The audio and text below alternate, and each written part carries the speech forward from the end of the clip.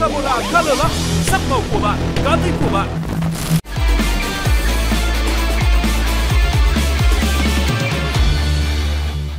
Các bạn thân mến, chúng ta đang có mặt ở sân vận động hàng Đáy ở thủ đô Hà Nội. Trước mặt chúng ta là trận đấu trong khuôn khổ lượt đấu thứ ba của giai đoạn 2 Nine Football League 2023, trận đấu giữa hai câu lạc bộ Viettel và Hồng Lĩnh Hà Tĩnh. Và trong trận đấu mà chúng ta đang hướng tới thì đội chủ nhà Viettel sẽ xuất phát với đội hình gồm có số 36 thủ môn Phạm Văn Phong, số 4 Bùi Tiến Dũng, số 7 Zaha, số 11 Jefferson Elias, số 12 Phan Tuấn Tài, số 19 Esam, số 20 Cao Trần Hoàng Hùng, số 21 Nguyễn Đức Chiến, số 23 Nhâm Mạnh Dũng, số 28 Nguyễn Hoàng Đức. Và số 90 Trần Mạnh Cường. Điều khiển trận đấu này là trọng tài chính Ngô Duy Lân, trợ lý thứ nhất là ông Nguyễn Trung Hậu, trợ lý thứ hai là ông Phạm Hoài Tâm, trọng tài thứ tư là ông Nguyễn Ngọc Châu. Và giám sát trọng tài là ông Võ Minh Chí, giám sát trận đấu là ông Lê Văn Quốc. Bên phía Hồng Lĩnh Hà Tĩnh trong trận đấu này họ chơi với đội hình gồm có số 36 thủ môn Nguyễn Thanh Tùng, số 6 Ngô Xuân Toàn, số 14 Giang Clesio, số 18 Vũ Quang Nam, số 26 Bùi Văn Đức, số 28 Nguyễn Trung Học, số 30 Vũ Viết Triều, số 38 Nguyễn Ngọc Thắng, số 88 Paulo Pinto, số 91 Diallo và số 97 Nguyễn Văn Hạnh. Trận đấu này thì đội chủ nhà Viettel trong bộ quần áo màu đỏ ở phần sân phía tay phải của các bạn.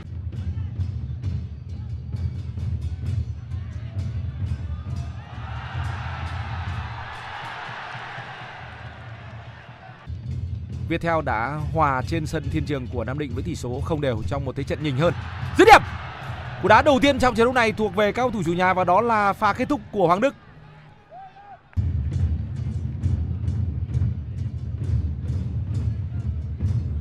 Zaha đánh đầu tỷ số là 1-0 cho cầu thủ Viettel đó là pha ghi bàn của Esam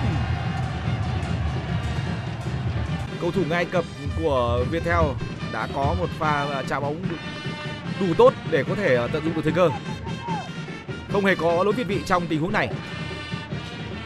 Zaha đã rất nỗ lực ở bên phía cánh phải.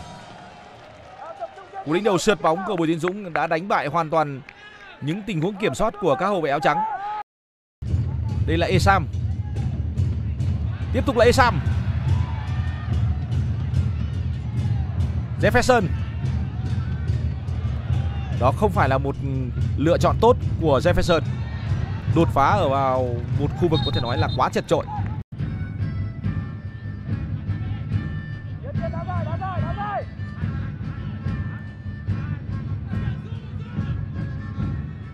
sẽ lại có một tình huống mà các trọng tài cần phải có sự vào cuộc của công nghệ va quả treo bóng của Hoàng Đức.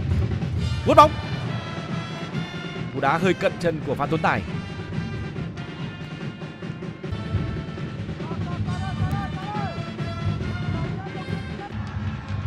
Văn Đức. Vuốt bóng. Và bóng nguy hiểm đầu tiên mà cầu thủ Hà Tĩnh có được trong trận đấu này. Và lên bóng có thể nói là có sự cân đối.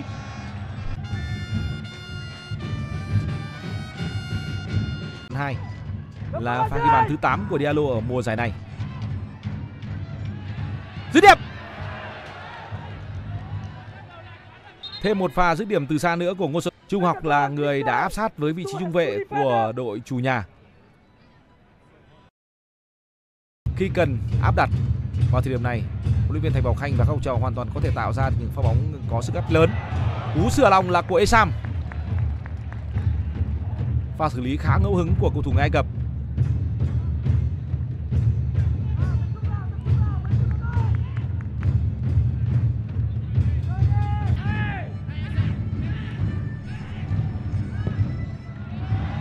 Đường chuyền tốt. Nhưng mạnh dũng, chân trái, không được.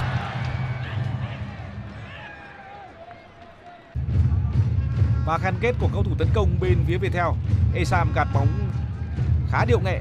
Ngay sau đó là pha chế bóng một chạm đủ nhanh, thể hiện tầm quan sát tốt của Jefferson.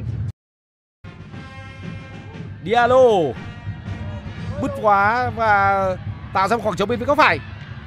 Trung học, không được. 3 phút đá bù giờ cho hiệp thi đấu thứ nhất đánh đâu đường truyền của Xuân Toàn và chuyển bóng quá sâu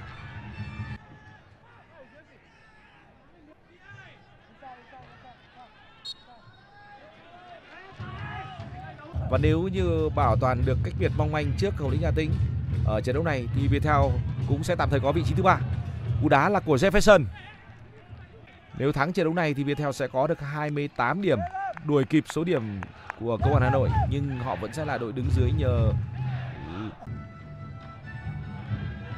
Văn Đức. Rất lợi hại.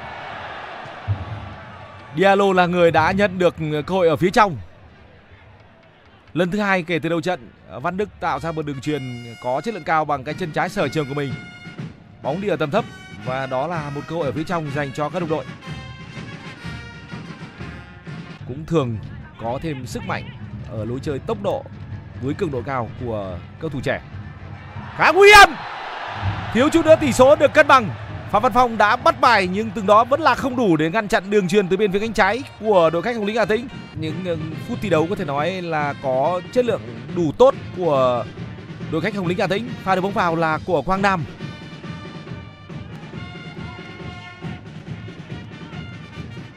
Để khiến cho chúng ta có thể được cảm nhận được ờ, rõ hơn sự hỗ trợ về mặt công nghệ để làm ờ, rõ rệt những ờ, pha bóng thắng thua. Dứt điểm, tỷ số là 2-0 cho Viettel. Và ghi bàn của Hoàng Đức. Và ở pha bóng vừa rồi thì Hoàng Đức là người lên tiếng.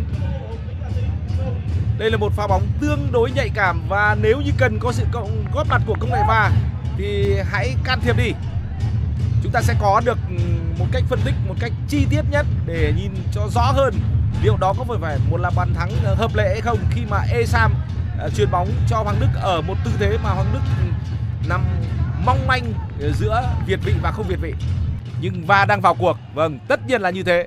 Đó chính là lợi thế của công nghệ. Với những gì mà chúng ta đang nhìn thấy trên màn hình thì có vẻ như mọi chuyện đang thuận lợi. Như vậy là bàn thắng đã được công nhận. Bất bại của Hà Tĩnh ở giai đoạn 2 sẽ bị à, chặn lại sau trận đấu này. Và đánh đầu khá nguy hiểm. Đánh đầu của Sơ Paulo. Người vừa chuyền bóng vào là Trần Phi Sơn. Đây mới chỉ là trận đấu thứ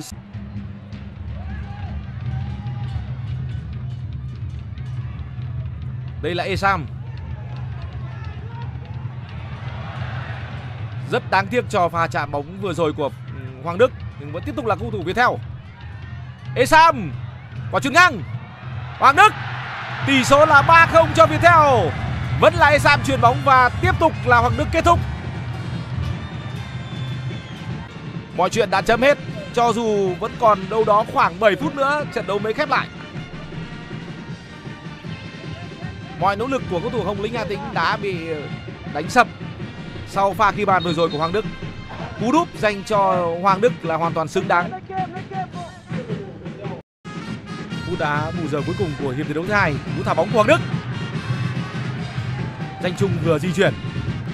Tiếp theo sẽ là quả phạt góc bên phía cánh phải cho đội chủ nhà.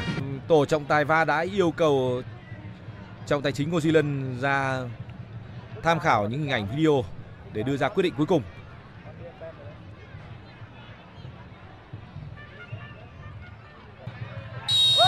Quả penalty. Đức Chiến và Thanh Tùng. Tỷ số là 4-0 cho Viettel.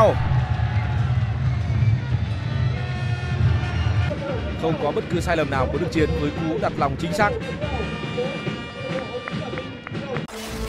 Trải nghiệm thế giới thể thao không giới hạn cùng FPT Play